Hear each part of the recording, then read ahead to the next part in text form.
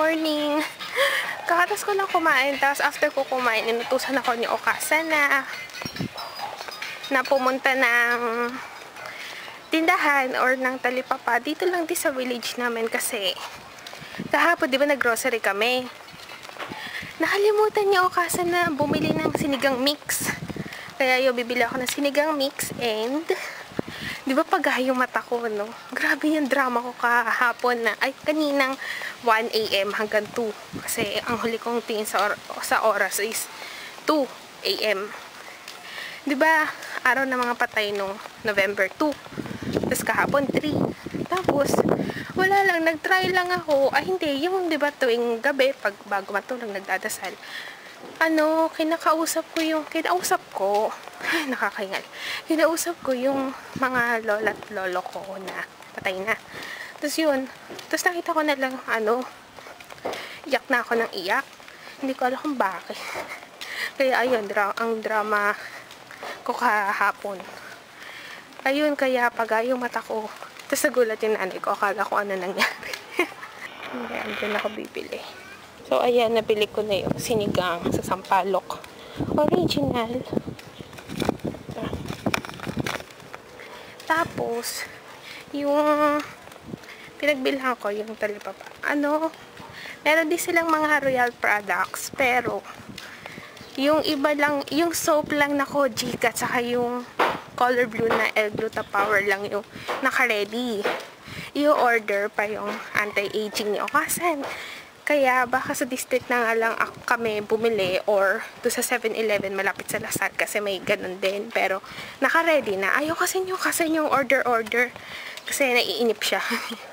Ayun, pauwi na ako. Kakatapos ko lang maligo and yan, luto na. Pagkatapos kong maligo, luto na yung lunch namin. Ang lunch namin ito, sinigang. Yung kanina bumili ako nung sinigang mix. Tapos, patis. Kain tayo. Yes, tapos na akong kumain at magugas ng plato. Tapos ngayon, yan, um, magkakalaban-laban na. Labanan na sa pagtitingin. Kasi 12.33 pa lang. Eh, 1 o'clock pa yung start ng online registration namin. And titingnan ko kung may mga slots pa ba. Kasi Una, 8 to 12 yung first year to second year. Kaya, ngayon, titingnan ko baka naubusan na kami ng slots ng first year at ng second year para pwede nang i-adjust-adjust yung mga nagawa ko ng unang schedule. Kaya, ayun, sana hindi kami maubusan and sana maayos ang maging takbo. And, update yung tourism subject ko, wala pa rin grade. So, yon hindi ko alam kung paano ko makukuha yung tourism planning and development kong subject kasi prerequisite nga yun. Ay, so yan, later ulit. So, ayan, pala ang na-add namin na subject. Tatlo pa lang kasi yung iba, pang ibang year. Kasi, di ba, ano, shifty kami. So, ah, nakakainis. Pero sana, kasi sabi, kung hindi, ngayon daw, mga ngayong hapon, kasi 1.11 na, uh, mag-open daw yon pag, yun, pag nagustuhan nila. Mag-open naman daw yun. Pero kung hindi pa rin daw mag-open, sa November 7 na namin ma-add yung iba. Good luck naman kung may slots pang matira. Baka tira-tira, baka pang gabi naman yung matira. Ano ba yan?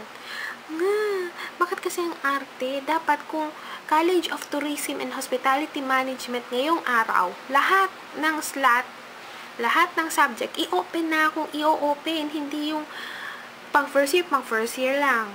Pag third year, third year lang. Paano naman yung mga ireg? At saka shifty katulad ko. Diba? Ay naku. Bahala na nga. Pero sana hindi kami maubusan ng slots. Kasi ngayon, ang available slot na lang dito, ayan, yung 26, 34, 33. So, medyo marami pa. Pero dun sa iba nakita ko, sa isa ko pang pinagtitingnan, yung computer subject ay 2 slots na lang. Pero may iba pa namang schedule yon Pero, syempre, yung gusto kong schedule, gusto kong oras, dalawang slots na lang yung pwede. Kaya, yun. Kung hindi, mag papalit na ako ng schedule ng konti, magre-revise Kaya yun, medyo mabuting-ting pero sana maging okay na. Ayan, pahinga muna sa pag-aabang ng mga subject. Ayan, nagutom ako. Dalawang butter cake. Ang aking merienda, Danish butter cake. Tapos isang lumpia, Shanghai original cheese flavor. Diba ito yung mga binibili dati sa tindahan. Kahapon yung bis- biscuits na may icing sa taas. Ito naman ngayon, lumpia. Kain tayo. So, ayun, ngayon ay 8, 8 o'clock na. Ngayon lang ulit ako nakapag-vlog kasi grabe kanina. Ang nangyari, ah, maghapon akong tulala sa laptop para lang hintayin yung schedules ko.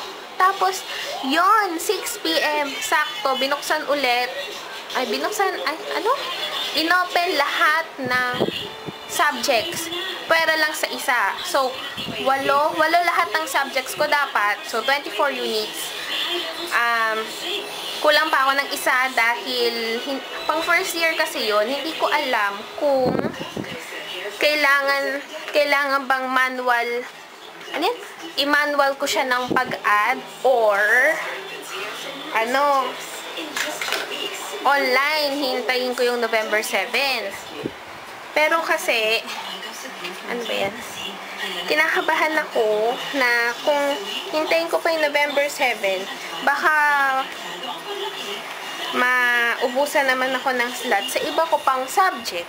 So ang ginawa ko lahat ng lahat ng subject ko dapat ay lahat ng subject ko na dapat kukunin ngayon na, na, na available naman na na pwede nang pwede nang kunin niregister ko na kahit i magta-transaction to na lang ako para lang idagdag yung isa ko pang subject.